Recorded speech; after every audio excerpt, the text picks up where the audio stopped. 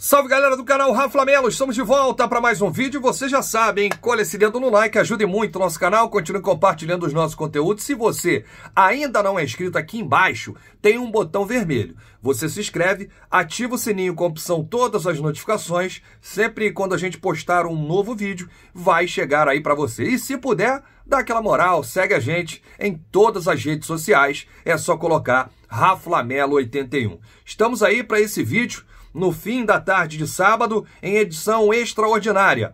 Vídeo urgente. O prefeito do Rio de Janeiro, Marcelo Crivella, suspendeu o campeonato carioca pelo menos até o dia 25 de junho. A medida, inclusive, já foi decretada em diário oficial na tarde de hoje. E com isso, né, o Flamengo, que tinha voltado no Campeonato Carioca na última quinta-feira, com o Bangu, a vitória por 3 a 0, os pontos continuam. O que foi paralisado, suspenso, foi a partir de agora. E essa medida beneficiou Botafogo e Fluminense, que estavam hoje na reunião com o Superior Tribunal de Justiça Desportiva. Estavam Fluminense, Botafogo, Ferge, OAB, mas você vai entender tudo aqui no canal Rafa Lamela a partir de agora, o que levou o prefeito Marcelo Crivella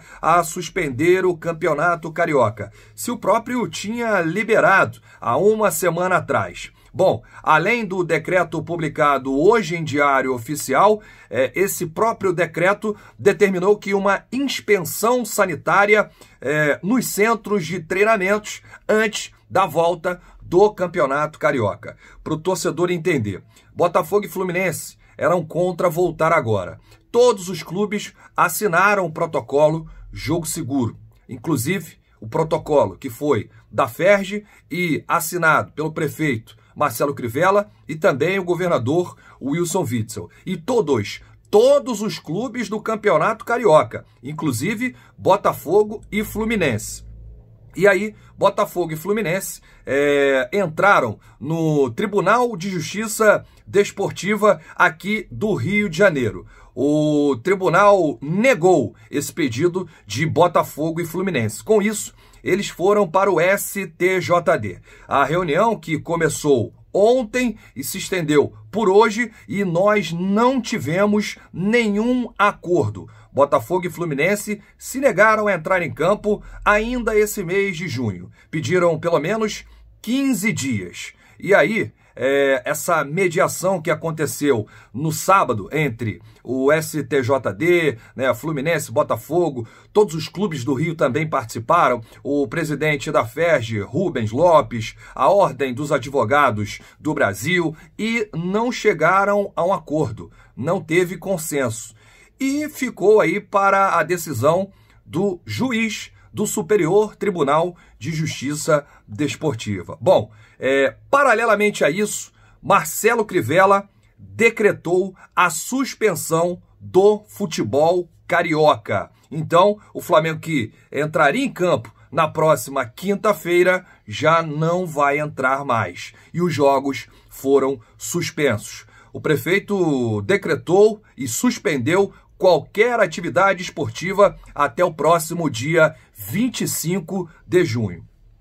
Eu quero lembrar aqui para o torcedor rubro-negro que no último encontro envolvendo todos os clubes da Série A, o prefeito da FERJ, Federação de Futebol do Estado do Rio de Janeiro, e o Marcelo Crivella, antes da volta do Campeonato Carioca, o Crivella, quando foi mencionado Botafogo e Fluminense, disse o seguinte: Botafogo e Fluminense têm o direito de jogar o dia que quiser.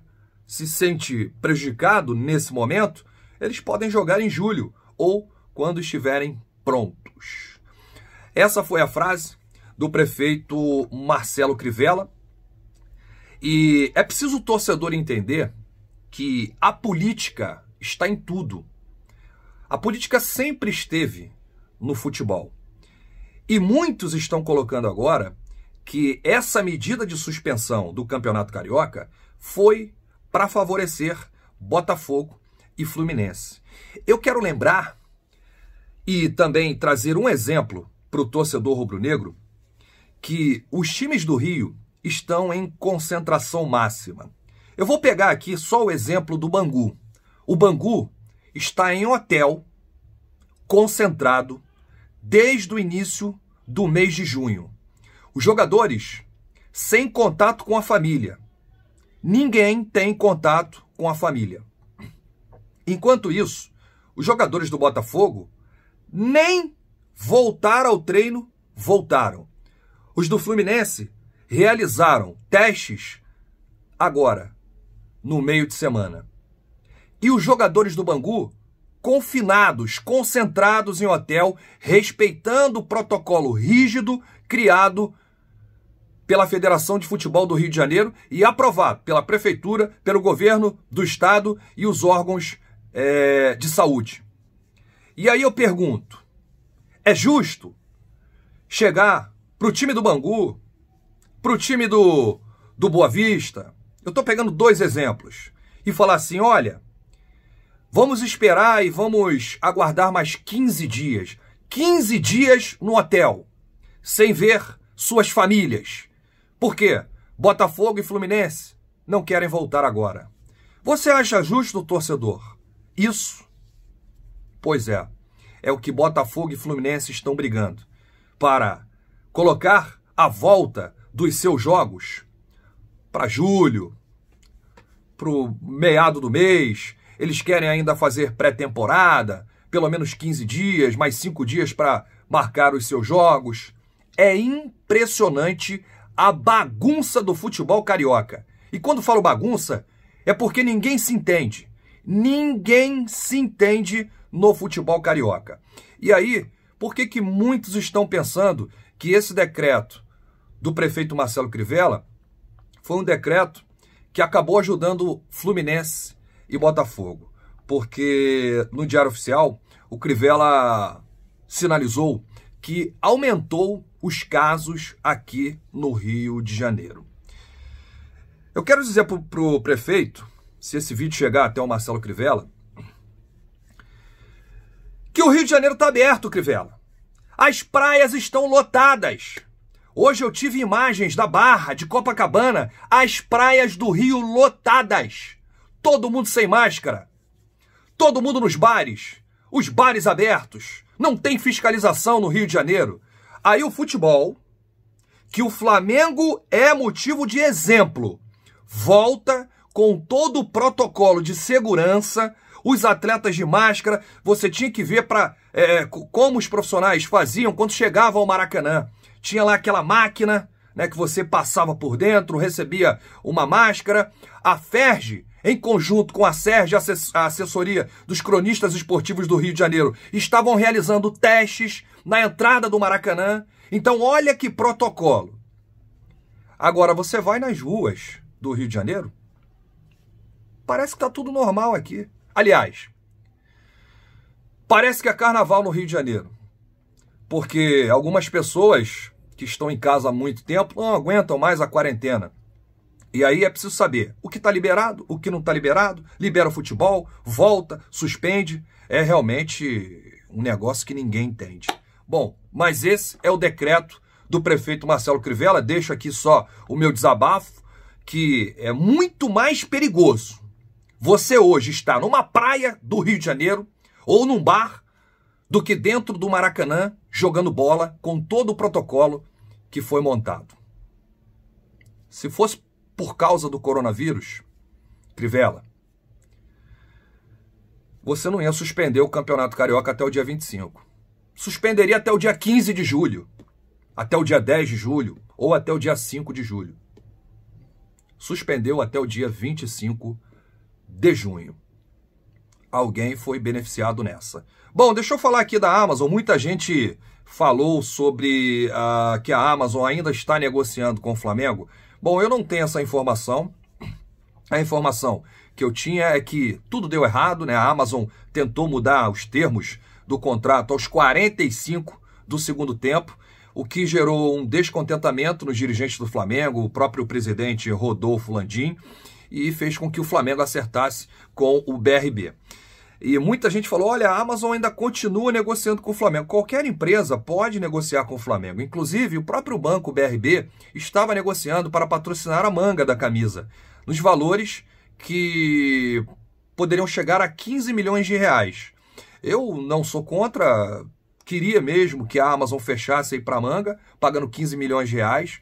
E o que se fala muito é que o Flamengo poderia ganhar através do serviço de streaming. E eu quero lembrar, com essa nova MP assinada pelo Bolsonaro, permite que o Flamengo coloque na camisa, na verdade aqui na manga, porque aqui já é o BRB, pode colocar aqui Amazon Prime, porque a Amazon Prime é um serviço de streaming, é uma empresa de comunicação, e isso é, antes da MP não valia, né? nenhum clube poderia fazer isso. Agora pode. Então a gente vai apurar sobre essa possível negociação da Amazon, que a Amazon ainda continua negociando com o Flamengo. Se vier, seja bem-vinda. Mas eu quero aqui falar do Banco BRB. O Banco BRB não será o patrocinador máximo do Flamengo. O Banco BRB será o sócio do Flamengo. O que o Flamengo vai ganhar com contas abertas, cartão pré-pago, tudo isso o banco está preparando. Gente, Muitos seguidores, muitos inscritos me perguntam nas redes sociais: Rafa, já posso abrir minha conta? O banco ainda não está online, gente. A partir de julho, eles vão criar uma plataforma online e aí sim você vai poder pedir o seu cartão, cartão que já vazou aí nas redes sociais, ficou lindo o cartão com CRF do Flamengo, um cartão preto maravilhoso e eu tenho certeza que o Flamengo pode ganhar e muito. Então não ficará restrito a 35 milhões ano.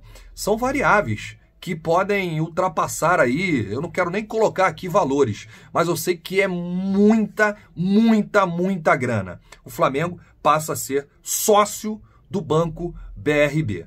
É, eu quero terminar aqui desejando um excelente fim de semana para todos os rubro-negros, é, só é, relembrando aí para o torcedor, esse contrato com o BRB com o Flamengo será de três anos, que podem ser prorrogáveis por mais dois anos. 35 milhões ano, mais variáveis, que pode aí extrapolar, né? passar aí de 50, 100 milhões. Então, realmente, é uma notícia excelente para a torcida rubro-negra. Grande abraço a todos, saudações rubro-negras a gente vai continuar apurando aí para ver quando o futebol carioca volta.